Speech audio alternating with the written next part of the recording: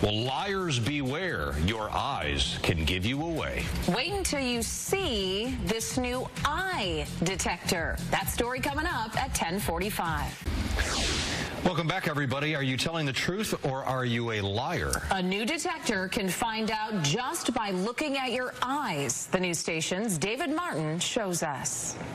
Hi, everybody. I am with Neil Harris from Converus, who has a new product called EyeDetect, E-Y-E Detect. It's a new type of lie detector. Hello, Neil. How are you? Hey, great to see you. So what does EyeDetect do?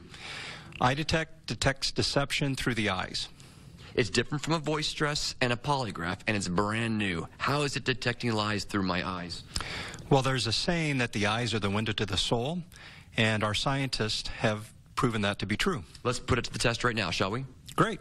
Pick a number two to nine, and then if it's a six or nine, put a number under, a line underneath it so we know. Okay, so I'm going to write my And number then, hi- and then hide it and stick it in your pocket. Well, actually, it's an infrared sensor that is measuring uh, 16 things eyes when you're lying. EyeDetect would be good for police departments because They can use it with suspects. They can use it to screen recruits. And there's many, many different ways that this technology can be used. let's check out the results. Do we have them now? Yes. When you were lying about the number seven, do you see almost the vertical spike in the size of your pupils? The computer believes that the number that you chose was the number seven. That's amazing. Because I got confused a bit in that test. Uh, and the number that I had written down seven.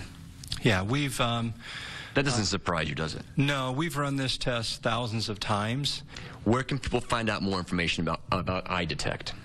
Uh, they can go to our website, which is converus, C-O-N-V-E-R-U-S dot com. Good luck with all of this, my friend. It was a pleasure. Thank you. All right, back to you guys in the studio.